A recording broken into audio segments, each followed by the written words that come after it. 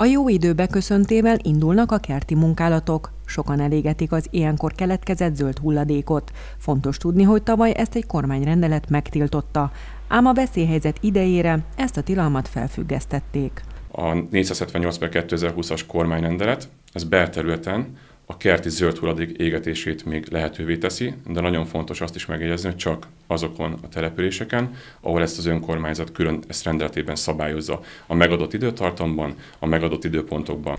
Tolna megye több településén adtak lehetőséget az égetésre a veszélyhelyzet idejére. Szexádon azonban tilos a tűzgyújtás. Ezt azért is érdemes észben tartani, mert büntetést szabhatnak ki a szabálytalankodóra.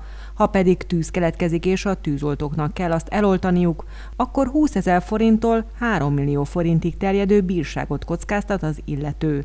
Közel fél száz szabadtéri tűzesethez kellett vonulniuk a Tolna megyei tűzoltóknak március közepéig.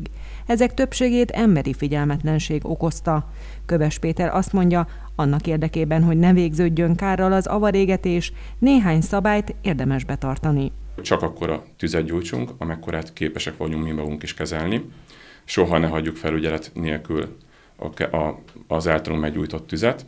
A tűzoltására alkalmas tehát eszközök, mint ilyen az irányításra alkalmas eszközök, mint az lapát, vasfil, az mindig legyenek a kezünknél, valamint a tűz oltását természetesen ezt mindenki tudja, hogy akár vízzel, akár homokkal is elvégezhetjük, ezek megint csak álljanak rendelkezésünkre. Feltámadó szél esetén pedig azonnal oltsuk el a tüzet, és ha végeztünk az égetéssel, győződjünk meg róla, hogy eloltottuk azt.